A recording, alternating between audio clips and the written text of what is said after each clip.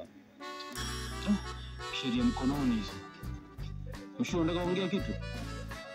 Mzee mzee wa old school. Wa back in time. Mm.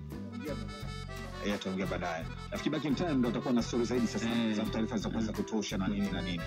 Lakini Mungu amrehemu na wakati kazi ambayo amezungumzia ni hii Haina mzee yake makosa. Mola ambayo haina haina makosa. Sasa ni makosa binadamu sasa. Msingizie tena Mola kwa sababu kama amepigwa na binadamu na kwaje. Basi.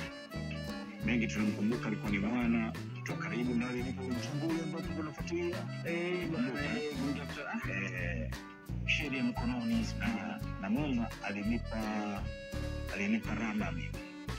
Kisha mashauzi alienda kununua raba Mm. ndogo kwa ndogo mbeba na mpe ganda na raba. Kwa hiyo ilitoka dukani kwake. Hata una karibu ukaribu sana. Na mimi nikaomba kabisa tukapiga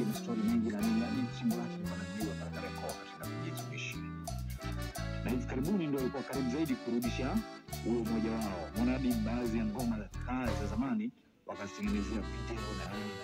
Unaelewa? Kwa hiyo ulikuwa tena ukaribu kurudi tena kwenye kazi.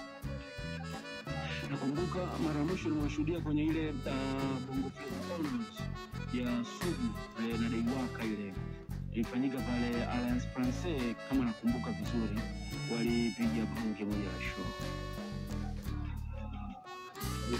Ile tu unafanya Bongo Flava Awards ya ndo wa muziki wa uh, Bongo Flava ya muda mrefu sana, jaribu kukumbusha watu zile ngoma zao old school na nini, wakati hit kipindi kile.